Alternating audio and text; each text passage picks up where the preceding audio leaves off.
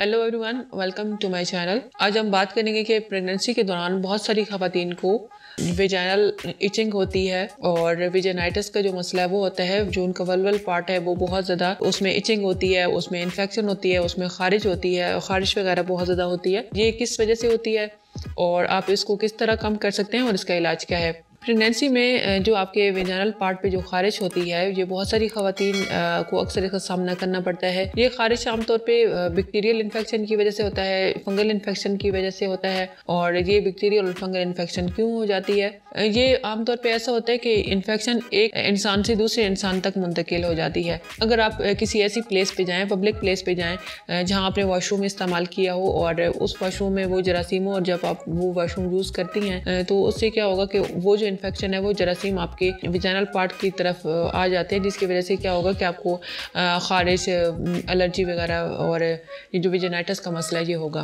क्योंकि ख़वान का जो पार्ट होता है, ये बहुत नाजुक होता है और इसमें बहुत आसानी के साथ जो इन्फेक्शन है, ये आ सकती है। बाज़ दफ़ा ये भी होता है कि आप किसी ऐसी फीमेल के साथ अपना ड्रेस शेयर करें, जिसको पहले से ये मसला हो, वहाँ पे उसे इचिंग हो और जब आप वो ड्रेस पहने तो उससे क्या होगा कि आपको भी ये मसला जो है, वो हो सकता है। इसके अलावा अपना जो वलवल पार्ट है, आपका जो चैनल पार्ट है, उसको अच्छी तरह सफ़ाई सुथराई ना रखने की वजह से वहाँ पे क्या होगा कि वहाँ पे इन्फेक्शन हो जाएगी और जिसकी वजह से क्या होगा कि आपको फिर खारिश और ज़ख़म और इस तरह की जो अलामत ये आपकी बढ़ जाएँगी। पानी का इस्तेमाल ज़्यादा ना करना और अपनी सफ़ाई सुथराई का ध्यान ना रखना। टाइम पे अगर आप गसल नहीं करती और अपनी सफ़ाई सुथराई का ख्याल नहीं रखती तो इस वजह से भी ये आपका जो मसला है ये बढ़ जाता है।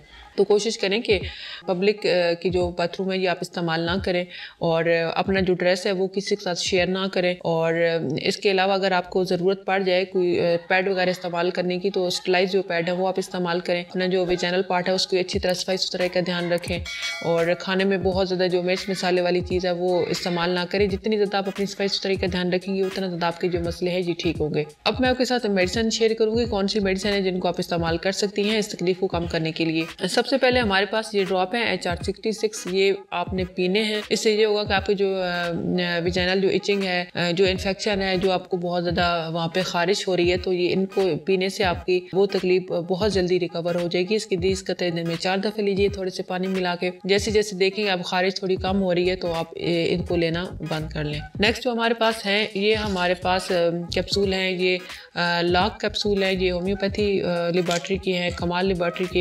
ये आपकी जो इन्फेक्शन है जो फंगल इन्फेक्शन है, जो बैक्टीरियल इन्फेक्शन है जिस वजह से भी इन्फेक्शन है, उसको कवर करेगा और जिससे आपकी जो खारिश है, जो वहाँ पे बहुत ज़्यादा जो इचिंग है, वो ठीक होगी। तो ये कैप्सूल दिन में तीन दफ़ा लीजिए और जब आप देखें कि आपकी एलर्जी आपकी जो खारिश है विजानल पार्ट में, वो थोड़ी होगी है तो फिर आप दो टाइम लीजिए। नेक्स्ट जो हमारे पास मेडिसिन है, ये हमारे पास है कलेंडोला मदर टिंचर इसको आपने करना ऐसे है कि जब भी आप अपने विजनल पार्ट को वॉश करें।